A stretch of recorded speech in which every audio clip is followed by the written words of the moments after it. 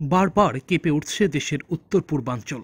গত রবিবার থেকে বৃহস্পতিবার অবধি এই নিয়ে পাঁচবার ভূমিকম্পে কেঁপে উঠল মিজোরাম। রবিবার থেকে বৃহস্পতিবার টানা পাঁচবার ভূমিকম্পে আতঙ্ক ছড়ালো মিজোরামে।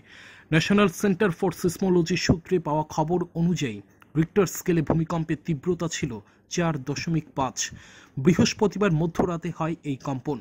উৎসস্থল মিজোরাম জেলার চাম্পাই জেলা থেকে একুশ কিলোমিটার দক্ষিণে। বুধবারেও সকালবেলা কেঁপে ওঠে মিজোরামের মাটি। স্কেলে কম্পনের মাত্রা ছিল চার দশমিক এক। এদিনই ভূমিকম্পে কেঁপে উঠল Nagaland. National centre for seismology সূত্রে পাওয়া খবর অনুযায়ী, রিক্টার স্কেলে ভূমিকম্পের তীব্রতা ছিল তিন দশমিক আট। রাত তিনটা বেজে তিন মিনিটে কম্পন অনুভূত হয়েছে। উৎসস্থল নাগাল্যান্ডের ওখা জেলা থেকে নয় কিলোমিটার উত্তর ও উত্তর পশ্চিমে এই ভূমিকম্পের উৎসস্থল বলেই জানা গিয়েছে। ব্যুরো রিপোর্ট চ্যানেল তিন রাত